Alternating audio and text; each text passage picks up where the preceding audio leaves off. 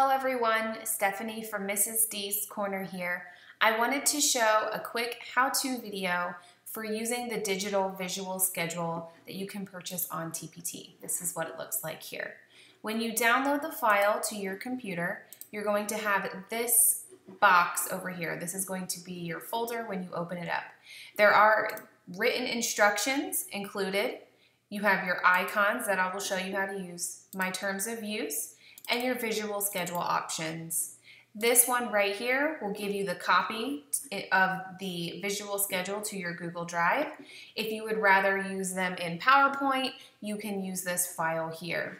You can see in my browser, I'm using Safari, I have copied the digital schedule already, and this is what it looks like. You have different options. Those ones don't want to load, there we go. So you have a first then, a first next then, another first then that has the first and second instead of the written version, and then the first then next. You also have a schedule for two spots, three, four, five, an AM and a PM with five, and then you have six for my schedule, an AM and a PM schedule if you wanted to make a larger schedule. What I'm going to show you how to do today is how to get the icons into your actual visual schedule or onto your first then board. So you're going to want to do this on a computer. It's much faster and simpler on a computer than it would be to do on a tablet or an iPad. You're going to have open the copy of the visual schedule that you have. If you're renaming it for one of your students, you can rename it up here.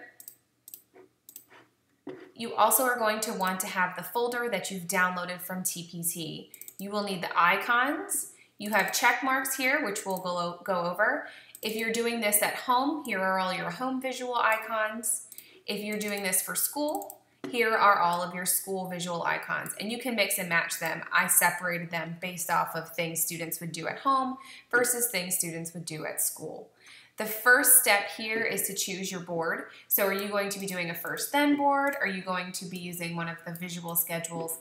This is a template, a digital template of the flip visual schedule, what is what the check marks are for. But first I wanna start with the first then board. I'm going to choose this one. I left this white space here for you to house extra icons. So let's say we are at home and I named all of these activities what they say.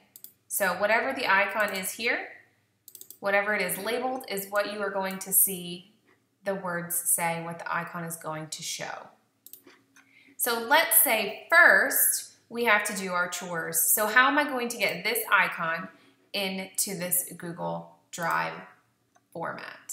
You're going to click Insert, Image, Upload from Computer. Wherever you are housing your um, digital visual schedule folder, you're going to click icons, home schedule, and chores. So you have that option as well. Okay, I'm going to put it down here. Or I know on a Mac, now I am Mac, not PC, so I'm sure it still works on a PC as well. But if you wanted to just make an easy drop and drag, you could have just drop, you just click it and drag it over into the file and it will do the same thing. So let's say we're gonna have chores, then we're gonna eat breakfast, and then we're gonna go to music therapy. So you have these three options here. You can also resize them if you wanted them to be smaller to fit more icons. If you want them all to be the same size, you can right click and then you can choose format or, which is right here, or when you click it at the top, you have format options as well. You're gonna click size and rotation. You'll wanna lock the aspect ratio. That means it's going to stay the same shape. And then you can choose the size that you want. So let's see, we want them all to be one inch. You could easily just change them all to one inch to be the same size. If you wanna make them larger, you can do that as well. It's really up to you and depending on how you plan on using this. So let's say first we're gonna eat breakfast and then we have to do our chores and then we're gonna go to music therapy. So you can put these here and have your student manipulate them on the iPad or the tablet or on the computer, or you can just have this already up for them. And you could copy and paste and have multiple first then boards in a row. So let's take a look at the schedule here. I'm actually going to choose um, this AM schedule. And I'm going to go back to the school icons.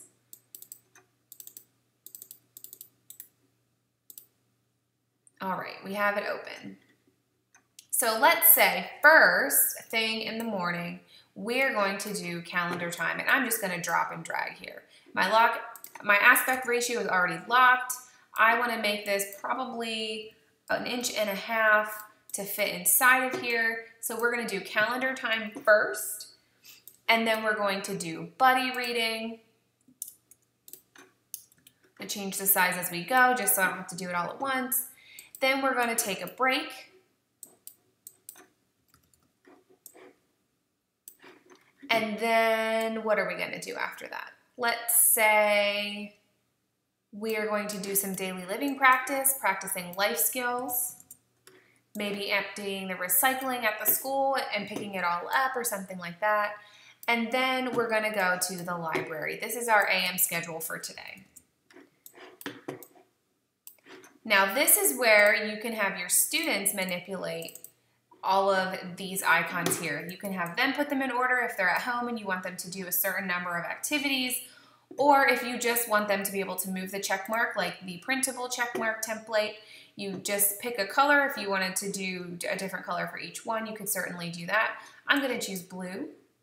I'm going to make it 1.5 inches because that is the same as the others. And if you want to copy it so you don't have to redo that, you can right click copy and paste.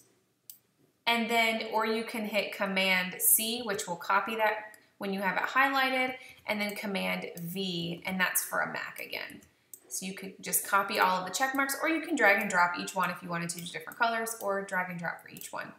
Then as your student is completing this visual schedule, you can have the student move so they finish their calendar time, all right, and you can have the tablet there or an iPhone or a Chromebook or whatever device the child is using that has access to Google Slides. You can have them manipulate the arrows or the check marks and have them complete their morning schedule. And then when they're finished, they can go on to their PM schedule and you can have it all laid out here for them. The great thing about this is you can complete a visual, a visual schedule that's digital for each day of the week that is different.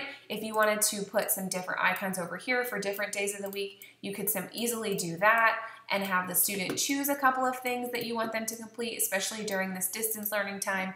You can put multiples on the side here and have the student manipulate them that way. That concludes this how-to video. I hope it made it a little bit simpler for you. If you have any questions, please reach out. I am always happy to help.